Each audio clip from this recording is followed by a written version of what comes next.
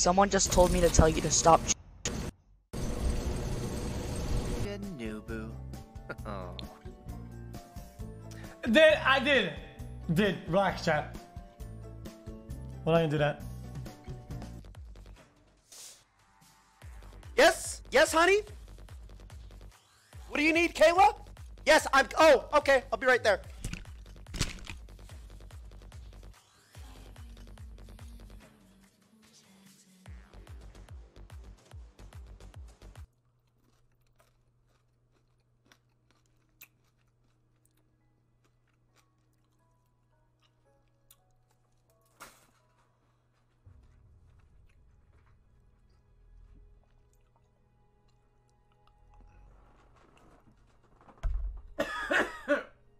I was making a joke. 'cause Greek, Yeah. Greek is really cute. doesn't Greek, count. Greek mm-hmm. is Greek really is you know gorgeous. what Greek you know Greek what is if really Greek was cute. in love with me like I would do him but I think he's he's not so big like Wait, wait, you you said if he was in love with you, you would do him?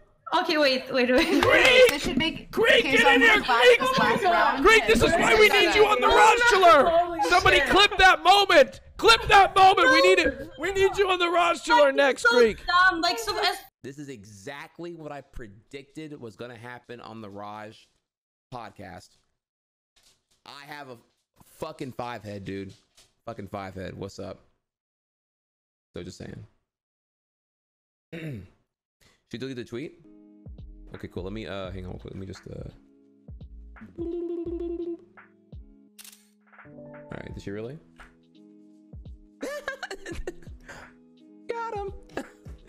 Used to love this show. Shame it got cancelled. Hmm. Too vague.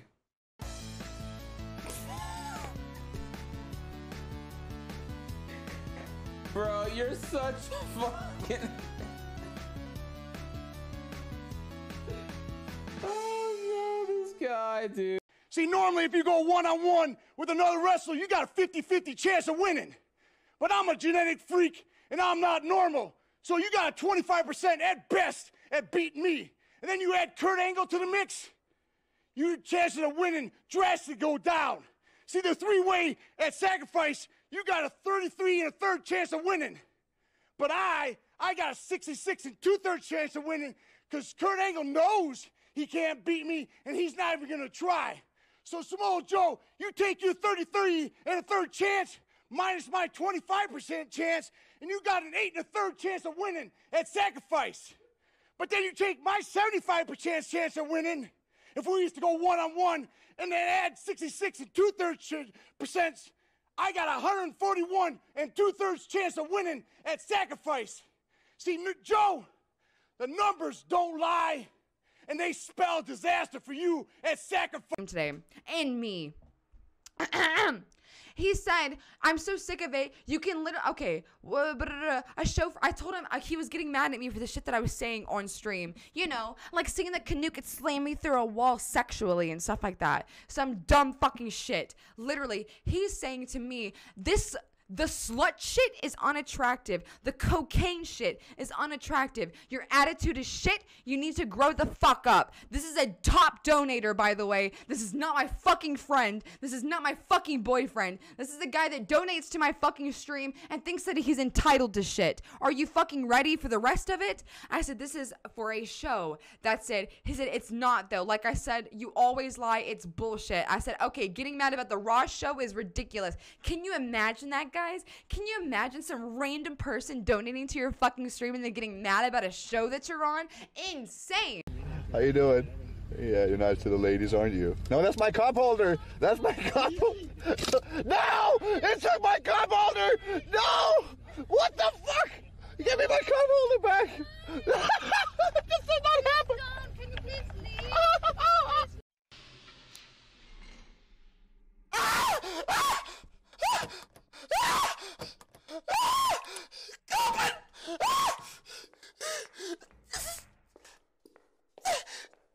I can't, I can't, bro!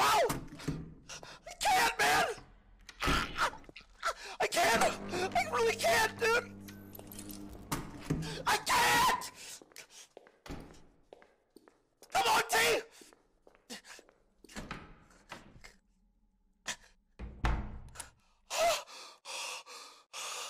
Oh my god! Oh my god!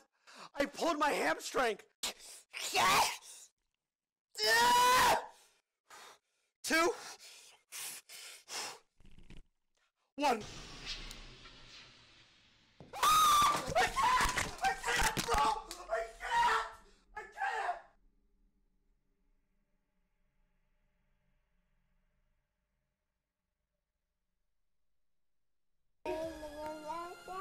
Brad, Yeah. hold, hold it up and show them. Look. Show them what you got! Show them the thing. Look at look at Brad. Four hundred fifty dollars. There it is, Chad. It's a go- They've got their golden bees and chat. Only a few people have those. Who's that? Who's that? Who is that? Oh my gosh. Dude, my broveries right now. Why are you making that face so much? Do you see your face? Look at your face. Brad, look. Who's that?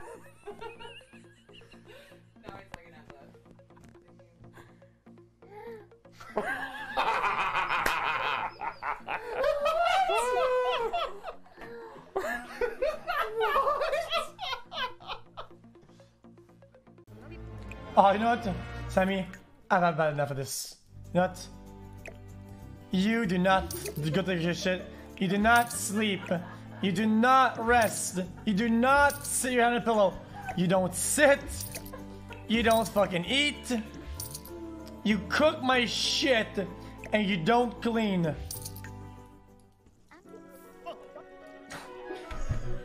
Get your ass back.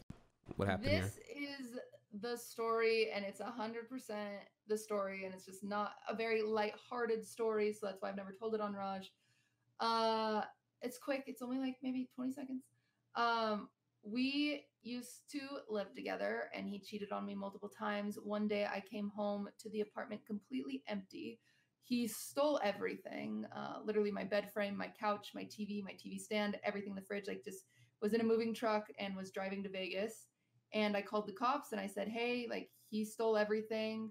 Uh, like what do I do?" And they came over and they like talked to me for a second. They're like, "Well, do you have receipts for your couch?" And I was like, "No, I bought it like a year ago." And they're like, "Well, sorry, like it's like there's no proof. Like so, you know, you live together. Like his name was on the lease, so Uh, it's fucking his. Like, and Uh. he cheated on me like three or four times, and so it's just like one of those shitty things. Uh, he also used to beat me, and he broke my rib cage. He fractured my eye socket at one point. Mm. Like, he was just a really bad guy. So, and I'm not like proud of it, but the only way I f- could feel any sort of like way to get back at him was he left like a blanket and some hoodies at the house. So I, I have a friend that's in the pest control company. I had him get some bed bugs and I put it in the box I shipped to him, and that's it. That's the story. So yes, it was a shitty thing to do, but also like it was my one way to feeling like I got fucking revenge in some way for all the shit that he had done to me because I couldn't do like you know like it's silly, but like it's stupid, but I did it and. Like Everybody has been doing so well. Everybody is there, genuine friends, people who are there for each other, and I, I cannot wait. I cannot wait to see what the future holds. This last year has been incredible, and there's been so many incredibly fun things that we've gotten a chance to do together. Fuck. And we're gonna keep doing a lot of that stuff with you, with E-Rob, with everybody. So congrats on one year, and thanks for being one of my best friends. Oh fuck. You're welcome.